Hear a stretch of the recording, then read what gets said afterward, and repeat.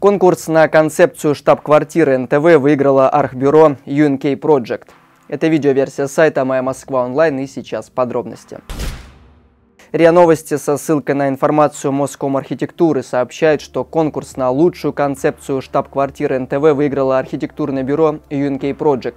Отмечается, что теперь архитектурное бюро получит контракт с телеканалом – по информации издания, общая площадь здания для телевизионного комплекса НТВ составляет 76 300 квадратных метров.